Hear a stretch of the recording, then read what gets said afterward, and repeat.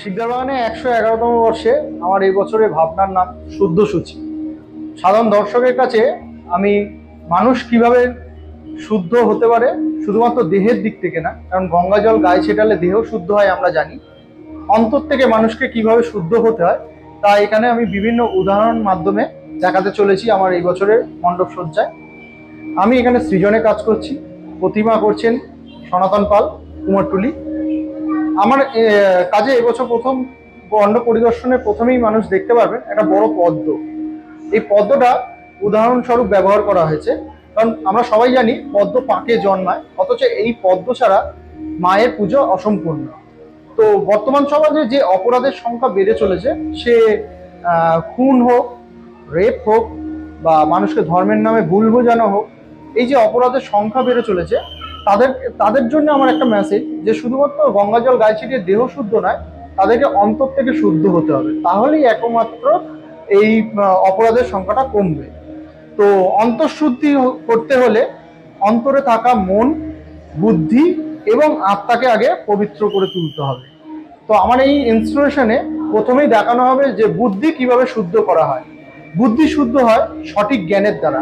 ঠিক এই পাঠে আপনারা দেখতে পারবেন নিউজ পেপার এবং বিভিন্ন বই নিয়ে যেখান থেকে আমরা জ্ঞান লাভ করে থাকি, সেরকম একটা ইনস্টলেশন এবং তার পরের পাটেই থাকবে মন শুদ্ধি।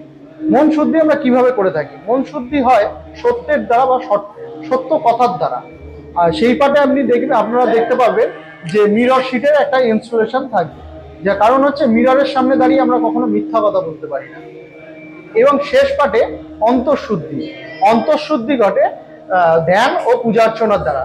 ঠিক মাতৃ প্রতিমার সামনে আপনারা এসে দেখতে পারবেন একটা পূজার একটা পরিবেশ গড়ে উঠেছে এবং অন্তঃশুদ্ধি যেভাবে ঘটানো যায় পূজা করে, সেরকম একটা পরিবেশ আপনাদের কাছে তুলে ধরা হবে।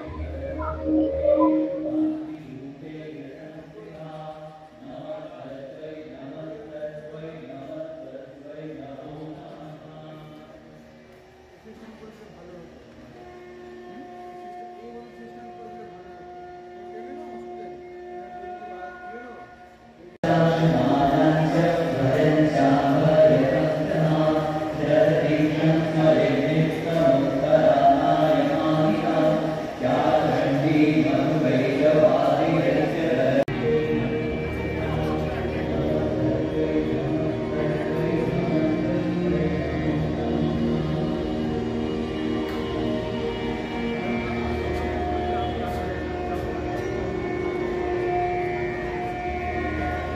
বিজয়দা নেই আজকে?